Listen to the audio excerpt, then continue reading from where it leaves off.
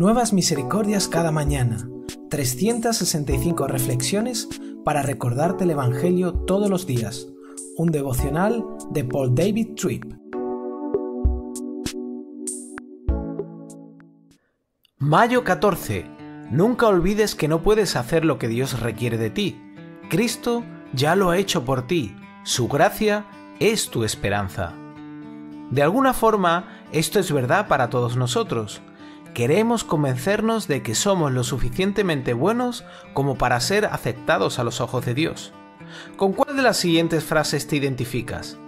Mira lo mucho que doy a los pobres. Mira lo hospitalario que soy. Mira el nivel de mi conocimiento teológico. Mira la frecuencia con que comparto el Evangelio. Mira qué buen matrimonio tengo. Mira lo exitoso que soy en mi negocio. Mira cómo no he caído en pornografía o adulterio. Mira el hecho de que educo a mis hijos en casa. Mira qué bien hablo. Mira a cuántos viajes misioneros he asistido. Mira cuán constante soy con mi tiempo devocional. Mira mi disponibilidad para ser líder del grupo pequeño de mi iglesia.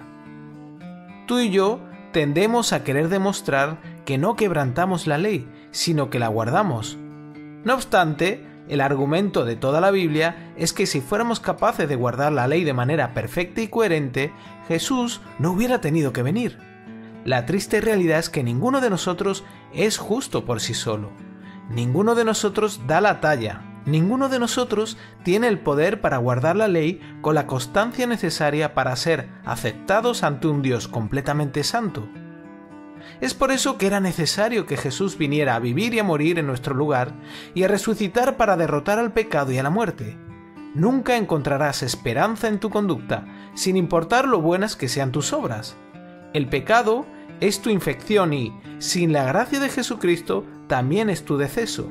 Es una realidad inescapable que debilita tu moralidad, conduciéndote así hacia la muerte. Así que no pongas tu esperanza en tu propia justicia.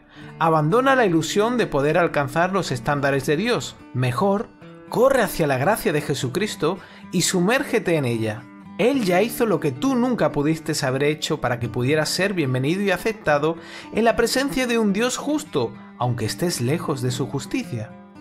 ¿Cómo puede ser que Dios te acepte sin comprometer su propia justicia?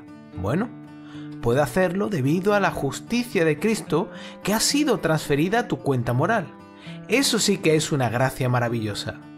Para profundizar y ser alentado, Hebreos capítulo 2 versículos del 10 al 18.